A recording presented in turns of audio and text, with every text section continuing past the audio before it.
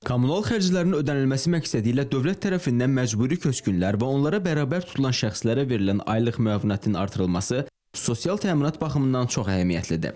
Məcburi köçkünlər bildirirlər ki, dövlət başçısı bu müavinətə son 3 ildə 3 dəfə artım edib. Belə ki, 2017-ci ilin əvvəlində bu rəqəm 36 manat, 2018-ci ildə 40 manat, son dəyişikliklərdən sonra isə 50% artırılaraq 60 manata çatdırılıb. Sosial işlərimizin həllində hardasa deməli 70-80% köməklik edəcək də. Demək bu da hər şeyi qadirdir. Hər şeyi həll etməyə güclərimiz çatacaq. Çörək pulumuz artdı. Yəni 2 nəfəri 120 manat çörək pulu verir. Bu bir adamın aldığı pensiyadır. Sovet hökumətinin dövründə alan pensiyanın ən böyük məbləğidir.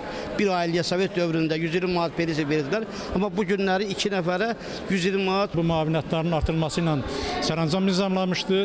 Bu sərəncamda demək olar ki, 50% artırılmışdı. Bu çox böyük rəqəm bir diqqət və qayğıdır. Biz məcburi köçkünlərə, biz hörmətli prezidentimizin apardığı siyasətə inanırıq ki, biz öz torpaqlarımıza qayıdacağıq, o günləri görəcəyik. Bu tikilən evlərdə də biz müvəqqəti olub yaşayacağıq. Əmək və Əhalinin Sosial Müdafiəsi Nazirinin müşaviri Mustafa Abbasbəyli bildirir ki, müavinətin məbləğinin artırılması məcburi köçkünlərin sosial təminatı baxımından çox vacib addım idi. Bu, köçkünlərə dövlət büdcəsindən daha çox vəsait əldə etmək imkanı verməklə onların rifah halının yaxşılaşmasına xidmət edəcək. Təqaüd və müavinət sistemində müəyyən uyğunsuzluqlar var idi.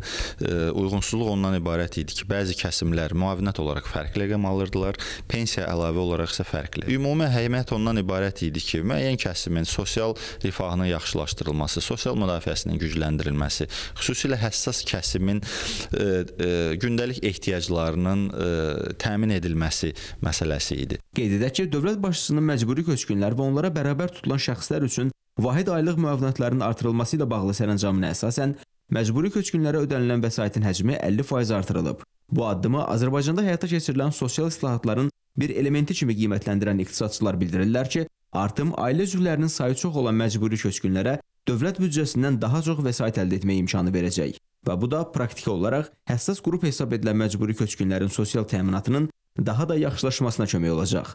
Yeri gəlmişkən artım 496 min 557 məcburi köçkünə şamil olunacaq. Əhməd Məmmədov, Şama İsmailov, ATV Rappers.